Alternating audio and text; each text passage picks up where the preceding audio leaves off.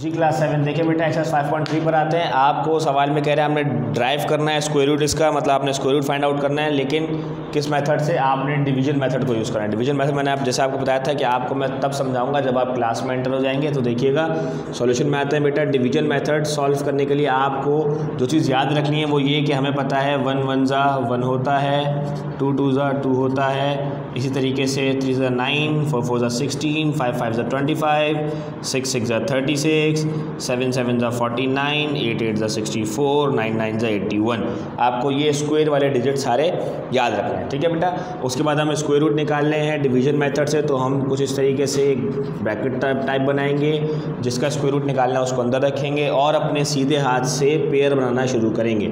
ठीक है?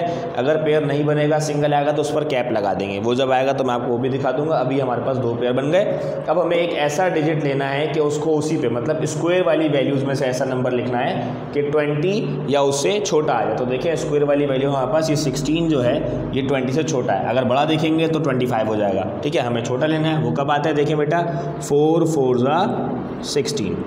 यहाँ पर आप ऐड करेंगे, इधर आप सब्ट्रैक्ट करेंगे, ठीक है? और आपने जो फोर को यूज़ किया था, वो आप यहाँ पर आंसर में भी लिखेंगे। एक दफ़ा फिर से देखें, आपने स्क्वेयर टर्म लेनी है, देखें फोर फोर ज़ा सिक्सटीन आता है, इससे बड़ा लेंगे फाइव ट्वेंटी फाइव आ जाएगा, बड़ा हम लेते नहीं हैं, हम छोटा लेंगे फोर फोर ज़ा सिक्सटीन इस जगह पर हम सब्ट्रैक्ट करेंगे, इधर हम ऐड करेंगे। बेटा, जब ऐड करेंगे तो फोर फोर ऐड होकर हो जाएगा एट और यहाँ जब सब्ट्रैक्ट करेंगे तो ट्वेंटी में से सिक्सटीन सब्ट्रैक्ट करेंगे। बेटा, ये बचेगा हमारे पास फोर। अगला पेड़ उतार लेंगे, अगला पेड़ क्या आ रहा है मेरा बच्चा? Twenty five. अब देखिए, यहाँ पर आपने स्क्वायर में रखना है नंबर को। अगर आप वन रखेंगे तो वन वन जा करना पड़ेगा, ठीक है? और यहाँ पर एटी वन आंसर आएगा। मतलब आपको एक ऐसा डिजिट यहाँ पर लाना है कि उसको उसी डिजिट से मल्टीप्लाई करने पर फोर ट्वेंटी फाइव आ जाए। इसकी आसान ट्रिक बताऊँगा, आप लास्ट वाला डिजिट पकड़ लें। लास्ट वाला डिजिट क्या आपके पास फाइव और यहाँ देखिए लास्ट में फाइव कहाँ आ रहे हैं बेटा? इस पर आ रहे हैं ट्वेंटी फाइव पर। तो आप सिंपल एट को फाइव से मल्टीप्लाई करवा। दें कुछ इस तरीके से। ठीक है? यहाँ अगर आप थ्री रखते हैं तो आप कुछ इस तरीके से रखते हैं। लेकिन हमें फाइव रखना है। फाइव फाइव से क्या होता है बेटा? ट्वेंटी फाइव फाइव एट ज़ा फोर्टी और टू प्लस करेंगे तो क्या हो जाएगा? फोर्टी टू तो देखिए आपने यहाँ पर भी फाइव लिखा, यहाँ पर भी फाइव लिखा। हमें पता है एटी फाइव फाइव ज़ा फोर ट्वेंटी फाइव होता है। जो फाइव रखा था उसको यहाँ भी रखेंगे, इधर सब्ट्रैक्ट करेंगे, इधर ऐड करेंगे तो नाइन्टी हो जाएगा। सब्ट्रैक्ट करेंगे कैंसिल हो जाएगा। ये जो फोर्टी फाइव है मेरा बच्चा फोर्टी फाइव ये आपका आंसर है। ठीक है? इस तरीके से एक और क्वेश्चन देख लेते हैं हम। हमने इसी तरीके से रूट लेना है one zero two zero one का। ठीक है, सबसे पहले तो आप राइट हैंड साइड से पेयर बना लें, जो सिंगल बचा उस पर ऐसे कैप लग जाएगा।